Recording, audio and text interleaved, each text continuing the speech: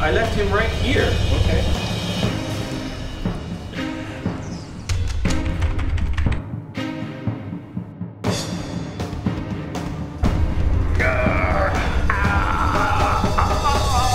This is not a mouse. This is some old meat pie in a Tupperware.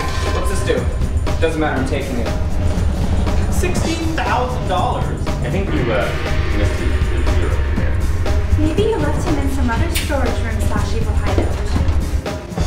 Who are you again?